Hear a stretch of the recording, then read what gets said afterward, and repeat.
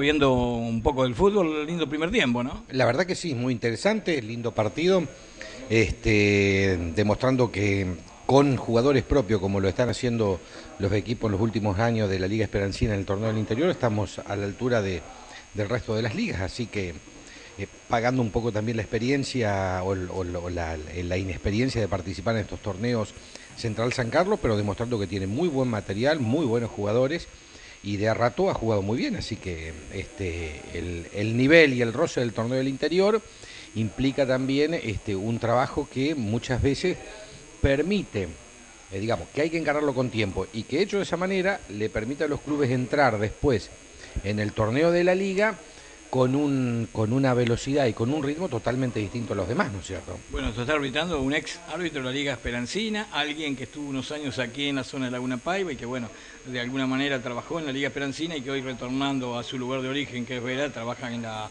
eh, es árbitro de la Liga Cerecina, ¿no? Como Hugo Moreira. Sí, sí, Moreira fue árbitro de la Liga Esperancina, eh, obtuvo, hizo el curso de árbitro nacional acá en la Liga y bueno, hace un par de años se fue a dirigir a la Liga Cerecina por cuestiones, por decisiones personales de él, así que sí, sí, arbitrando un, ex árbitro de nuestra liga, es decir, producto de, del trabajo de, del colegio de árbitros de nuestra liga. Bueno, hablamos del torneo oficial 2014 con 27 equipos, ¿no? Dos que se suman, Deportivo Gesler, aquí de nuestra zona, más cercana. Bueno, el otro tampoco no es muy lejos, ¿no? Pero la gente independiente de Colonia San José. Exactamente, así es. Este, Deportivo Gesler hay que esperar que llegue la autorización del Consejo Federal, ya está toda la documentación remitida, así que estamos esperando que resuelva el Consejo y otorgue la jurisdicción sobre esa zona. Es decir, teniendo en cuenta que fue prestada la conformidad por la Liga Totorense, que es quien tiene la jurisdicción sobre Hessler. Y bueno, Independiente de San José, que este año ha tomado la decisión de encarar este, el, torneo de primera división, este, armando primera y tercera división y comprometiéndose para el año que viene ya a ingresar, sí, con mínimo con dos categorías inferiores. Así que eso sí, nos lleva a 27 equipos este, sí, muy positivo y muy interesante porque está ampliando un torneo que es sumamente competitivo y que está generando la atracción de todo lo que es el ámbito del departamento.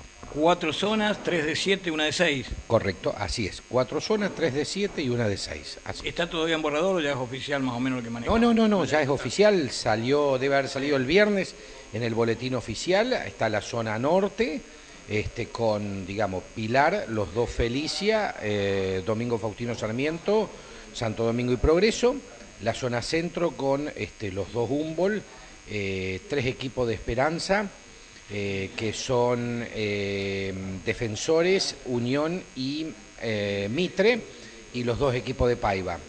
Una zona centro-sur, que son los otros tres equipos de Esperanza, es decir, Juventud, Juventud Esportivo y Defensores, Em, los dos de Frank, eh, Independiente San José, Independiente San Agustín, y la zona sur que está integrada por los equipos de esta zona, Libertad, Central, Unión Progresista, Hessler, Belgrano, eh, de Zapereira, Santa Clara y López. ¿Cuándo se constituye el sorteo, el fixture? Y el fixture vamos a empezar a trabajar la semana próxima ya en el, en el fixture como para la primera semana, la primera semana de marzo ya tenerlo y aprobarlo de manera tal que quede oficializado. ¿16 estaría arrancando?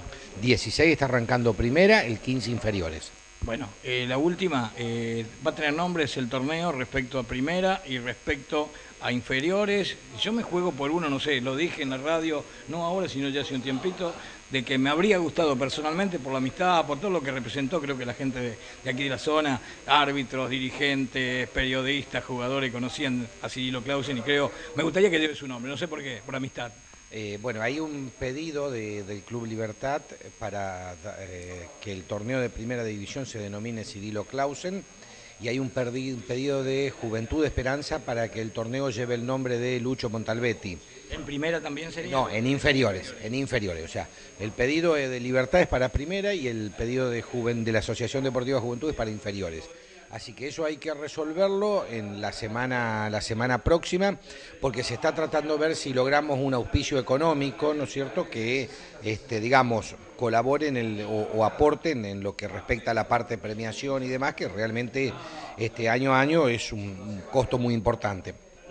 De manera tal que la idea sería que el torneo lleve, es decir, torneo mm, con tal denominación, auspiciado por este, tal entidad o por una comuna, un municipio o tal empresa, lo que fuere, exactamente. Esa es la idea que se está trabajando. Eh, lo que pasa es que estábamos abocados a lo que es la organización de, decir, de los torneos de primera división, de inferiores, este, el senior también que comienza el 7 de marzo este, y también, eh, digamos, al tema arbitral, eh, comité de fútbol infantil, etcétera, etcétera. Y hubo varios temas que son los que nos centraron la atención estas dos semanas pasadas. Y bueno, eh, ya definido todo, la semana próxima nos tenemos que poner a ver ese tema como para ya la primera semana de marzo estar definiéndolo. Gracias. No, gracias a ustedes. Gracias a ustedes por difundir y por permitir que este, la actualidad de la Liga Esperancina llegue a la vasta audiencia que tiene. Muchísimas gracias.